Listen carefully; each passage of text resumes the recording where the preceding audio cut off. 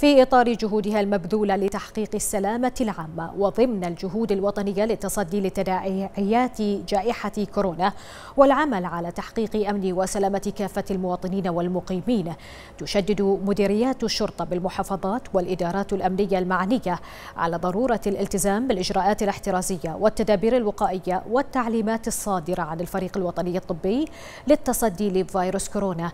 للمساهمة في الحد من زيادة الانتشار وارتفاع عدد الحالات القائمة مؤكدة على أهمية دور أفراد المجتمع كافة في اتباع التعليمات الصادرة لمنع انتشار فيروس كورونا عبر البقاء في المنازل والخروج لقضاء الحاجات الضرورية إضافة إلى تجنب التجمعات العائلية والمخالطة كونهما من أهم الأسباب في انتشار الفيروس وزيادة عدد الحالات القائمة.